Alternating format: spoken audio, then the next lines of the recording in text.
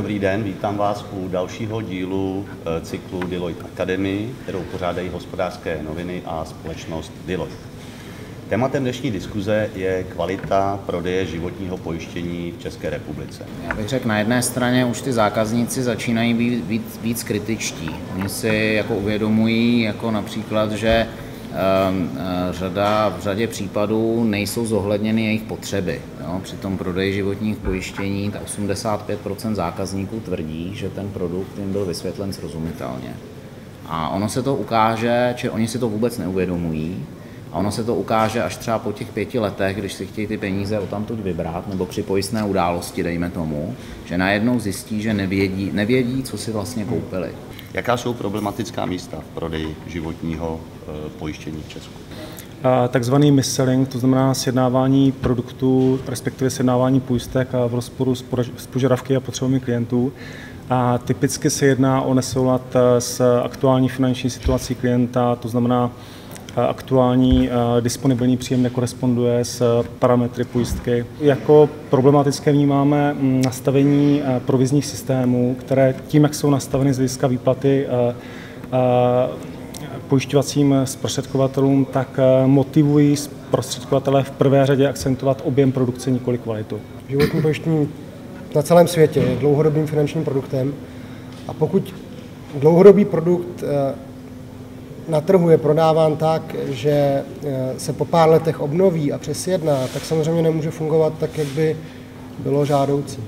Mnohdy si myslím, že ta smluvní dokumentace je dostatečná, pak je tam samozřejmě ta přidaná hodnota toho poradce, tak aby se to potkalo s tím, co ten klient v tu danou chvíli potřebuje. Tam určitě jako to pojďme řešit, možná je to i o nějakých registrech poradců, možná je to o tom, aby se nestalo to, že jeden poradce udělá špatné obchody u jedné firmy, pak jde do druhé, pak jde do třetí, což je realita. A to je otevřeně eh, řečeno, to je o té, o té provizi.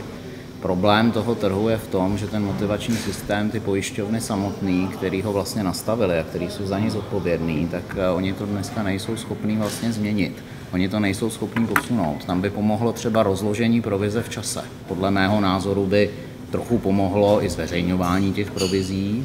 Už eh, dneska se bavíme o tom, že mm, se připravuje nová zákona o pojišťovacích eh, zprostředkovatelích.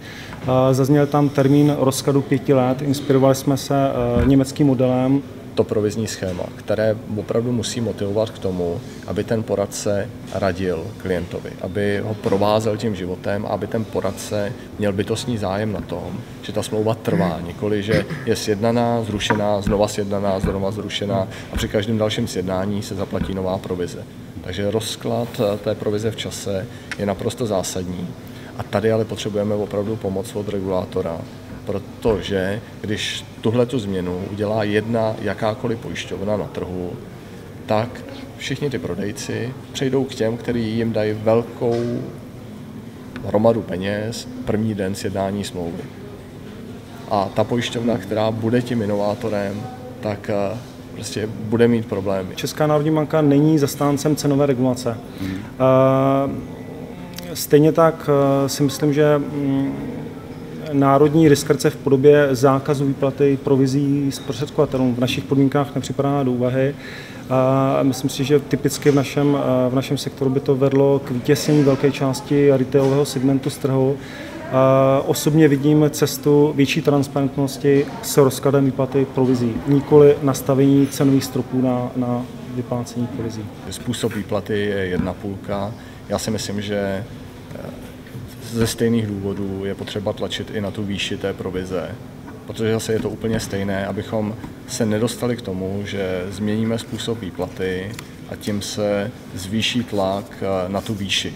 Eh, rozumím té argumentaci, kterou říkáte, že, že je to zasahování do trhu, ale jsou případy jako jednotlivých států eh, ve Spojených státech amerických, které regulují výši provize a to si myslím, že eh, je volný trh. Za nás eh, ta cenová regulace nemyslím si, že, že je správně. Na druhou stranu říkám, jsme otevřený té, té diskuzi. Možná tady nebudu souhlasit s kolegama, nemyslím si, že když budete snižovat jakoby ty provize, tak stejně to neznamená, že na tom trhu nebudete mít špatný poradce protože to přeci povede potom k tomu, že, že vám o to víc vám vznikne malých SROček, který budou postavený na čtyřech, na pěti poradcích, který dneska jsou a zítra jakoby nejsou. A pro těch pět lidí je vlastně i ta nižší provize pořád zajímavá na to, aby dokázali udělat jakoby nějakou, nějakou nekvalitu. Pragmaticky, že na finančním trhu nejsme sami. Konkurencí pojišťovnám z hlediska spořící složky pojistného jsou i penzijní fondy, jsou podílové fondy, jsou další, další finanční nástroje, tak v našem zájmu v žádném případě není si ten trh zničit. Pouze ten trh, řekněme, kultivovat způsobem, který bude rozumný. Rozumný pro všechny tři hráče na tom trhu, zná pro klienta, pro zprostředkovatele i pro pojišťovnu. Každý z nich na to musí profitovat.